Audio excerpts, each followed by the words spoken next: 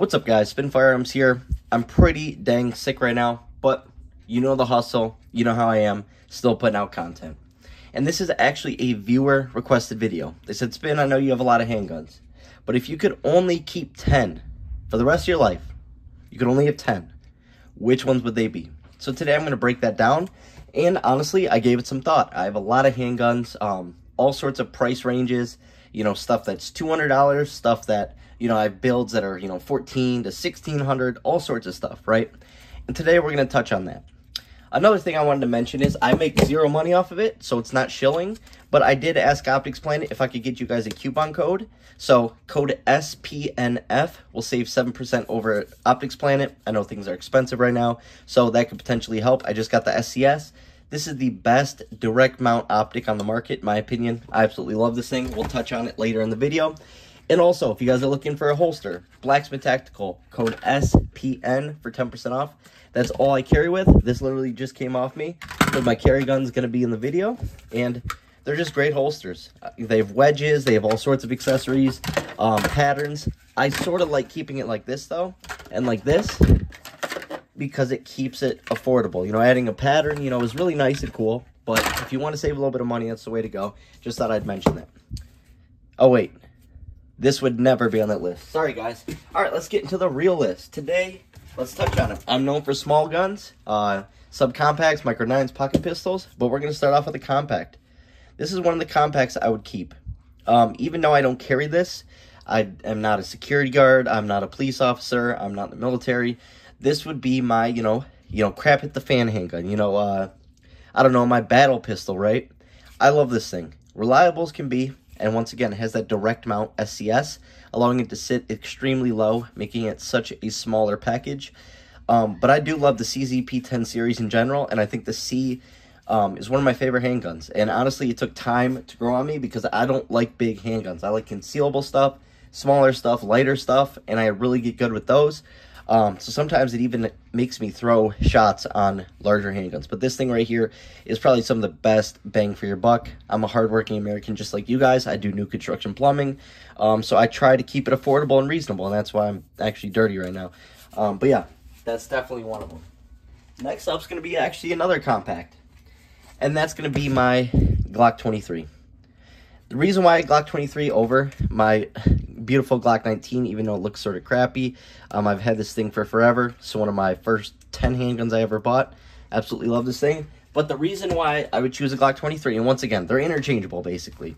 Uh, I love the 19. Give me either one. But I can make this a Glock 19. So going forward, I like having options. I can have this in 40, uh, 9mm, as well as 357 SIG. They even make a 22 long rifle kit for this handgun. So that's another benefit, right? But yeah, this thing as well, looks like crap, looks like junk. I bought it used for a really good deal, really good price. Threw some sights on it that I had laying around. You know, I like this thing. The power of 40, in my opinion, is definitely worth it.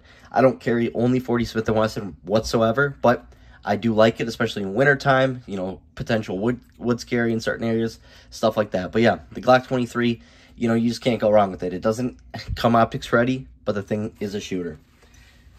Next up, you guys could probably predict Springfield Armory Hellcat. Between the three um, models that I own, they have like 20,000 rounds between them. Uh, they are just beast. They just run and run and run. I actually have a series on this where it's called basically um, Journey the Hellcat because I'm trying to get this thing to jam. Now, I'm not being ridiculous. I'm not jamming it up with sand and dirt because that just wouldn't happen in a self-defense encounter. As well as I'm not serving, therefore there's going to be no sand, dirt, or anything like that in my concealed carry handgun. It's going to be well maintained, as well as kept in a holster. But I've ran these things really dirty, steel ammo, almost every hollow point you can imagine, and the thing just keeps running. Now the Sig Sauer P365 is uh, less snappy, 100%. The trigger is much better. But the Hellcat is more accurate, and on top of that, if you learn how to handle the recoil of the Hellcat, it'll become your best friend because it's small enough to go everywhere with you. Next up, this might shock some of you guys, but you got to get a pocket pistol in there just for deep concealment. I'm a father, um, and you know we're in a really divisive place in our country right now, and a lot of people don't like firearms. And I take my kids to the park almost every single day. That's not even an exaggeration. Probably five to seven days or five out of the seven days a week. I kid you not. We always go to the park, go on walks, and there's other parents there. And they you don't want to cause a scene. You don't want the kid to see a handgun and freak out and get scared because you don't know what their parents told them. So I'm respectful, and I choose to pocket carry at events like that. For instance, my daughter's birthday, it's going to be at this trampoline park. I don't want, you know, to affect my daughter's life by the parents seeing me carrying something. I don't. Therefore, pocket carry. It's a genius way to go, even if you want to carry a backup because you're going to a worse area. There's nothing wrong with that. I'm all about safety and making home at the end of the day. That's what carry is all about. So the Smith & Wesson Bodyguard is the answer to that. 10 plus 1 in this setup right here. Um, two fingers on it. I mean, this thing is a shooter for its size. I really like it. I know some people have been having some issues with some Smith & Wessons, but for me, so far so good. Love this thing. 12 plus 1 that with that extension makes it so you can get almost three uh, finger contact. Next up, I have to go with it. I didn't think I would want it, but it, it's grown on me. This is a new pickup of mine a couple weeks ago. And since then, we've put it through its paces. Hundreds and hundreds of rounds already have gone through this. Hollow points, and it just rips. And I just want to mention the only hollow points I've ran through it so far are a couple G9 defense, some Civil Liberty, and then some Winchester Rangers. That's all I've done so far, and it was only a mag of each. Therefore, it's not completely tested, but so far it's been reliable, and I can see where it's heading um, in the reliability department. But what I would say about this is, if I want, the reason why I picked the Glock 30 it doesn't even have to be the S. It could be the SF that I have or a regular one or the new Gen 5, which I hope I'm, you know, plan on getting. But you can convert them to 10 millimeter. I wouldn't do it with a thinner slide on the Glock 30S, but if I have my Glock 30 SF here, which they're interchangeable, you can convert that to 10 millimeter, making it a bear defense, a woods defense. And when you have a 10 millimeter, it's literally um, the one handgun that can take down anything in all of North America. And that's a big statement, right? So the Glock 30 or Glock 29, if you converted it. Love the Glock 30, accurate as can be. People think it's going to be really snappy, a lot of recoil, uh, and it's really not. You just got to train, get a good grip on the handgun, and learn the fundamentals, and uh, it's not that bad. And once again, guys, I'm sick, so I apologize. Next up, you knew it was coming, but it would be this Glock 26. This setup right here is perfect. I have a Gen 5 MOS um, with an optic on it. Awesome optic. I have a Delta Point Pro. Once again, code SPNF at Optics Planet will save you 7% but I would still choose this Glock 26. Actually stippled and the finish done by my buddy Aaron. Uh, you can go look up that video that has his info, or maybe I'll even post it below. But he did an awesome job on it. I mean, the thing is just crispy, beautiful, just a regular Gen 3. Nothing special about it. New sights on it. American flag backplate because we need more patriots. We need more people that are for the country nowadays because things are just the opposite. It's ridiculous. Pearce uh, grip extension. They worked with Glock on these extensions, so you know they're going to be reliable. No rail, no optic, not needed. This handgun is just solid as can be. Um, I absolutely love this particular Glock 26. Next up, it might shock you, but Springfield Armory XD Mod 1. This handgun has 14,000 plus rounds. I don't know the exact round count right now, but I know it's over 14,000. This is one of my very first handguns I ever got. It has a new replacement barrel in it. Uh, had a couple spring changes, or part changes, I should say.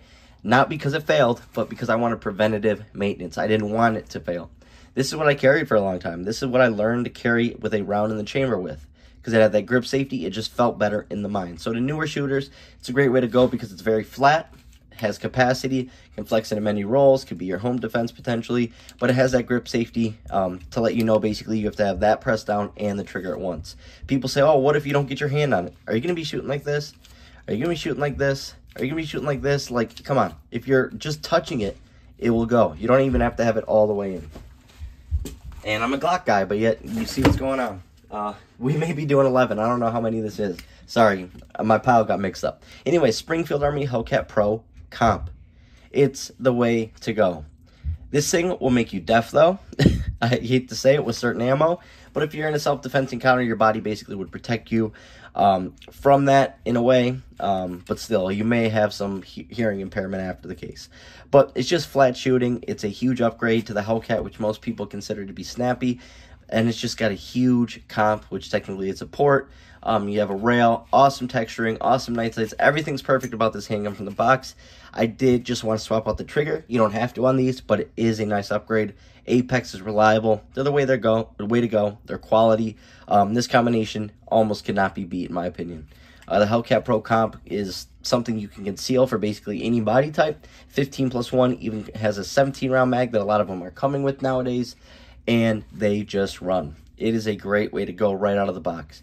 You can even throw a Vortex Defender or something like that. Keep it still affordable. You know, if you got a Vortex Defender for this thing, um, you'd be sitting at probably, what, 750 to $800 with an awesome setup and a dot. You can't really beat that. It's an awesome way to go. So, love that.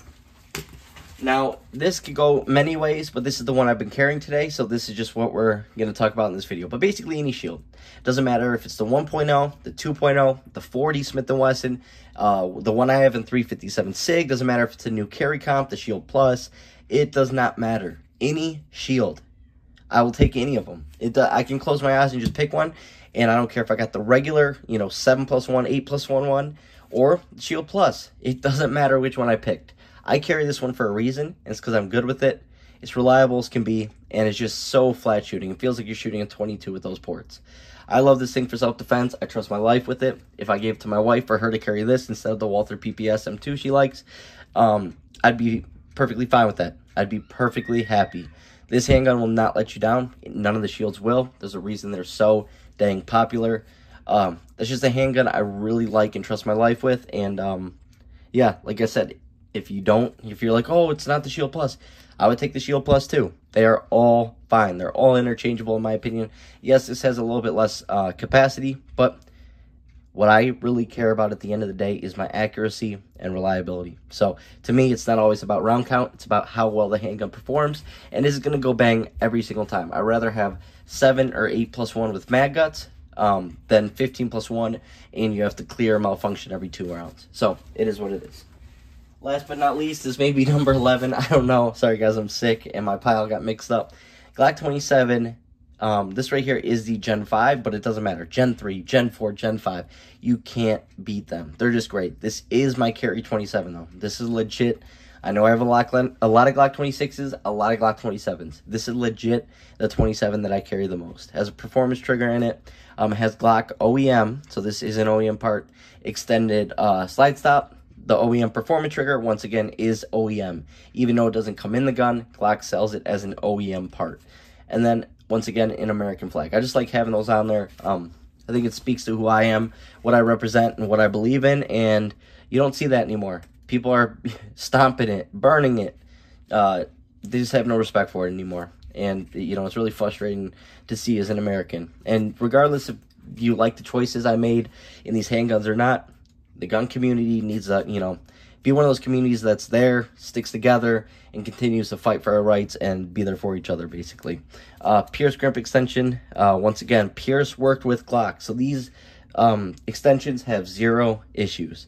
They're, they're just great. And the reason why you saw, like, on my 26, um, the reason I have it like that, even on my shield, is because it doesn't affect printing. You still get a three-finger draw, or in this case, two and a half, but you don't have that extra where you print sticking out, right? Same with this. Uh, it doesn't add capacity, but it also doesn't affect your print, which is really nice, and that's why I do it. Um, but yeah, I could turn this technically into a Glock 26, a Glock 33, or 22 long rifle as well. But I just like this thing. I'd rather have one of each, you know, with me in that list of 10. I just love them that much. They can literally be used for anything in life. Uh, two awesome handguns. I mean, I'm telling you guys, just awesome, awesome, reliable handguns every time someone has bought one based off a recommendation, they come back happy. So I hope you guys enjoyed that video. Let me know if you like that list or not. Let me know what your list would be. Thanks for watching.